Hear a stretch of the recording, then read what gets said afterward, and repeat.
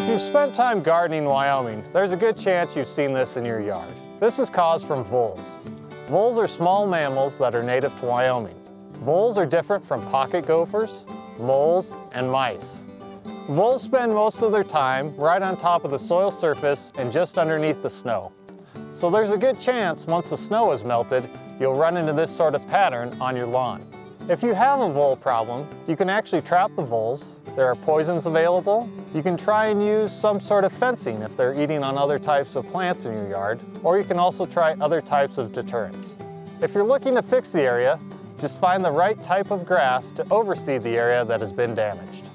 Voles are also notorious for girdling the base of trees, most often fruit trees, or eating the shallow roots of other perennial plants. Fencing is often a good option for keeping them away from these plants. From the University of Wyoming Extension, I'm Brian Sebade, and you're watching From the Ground Up.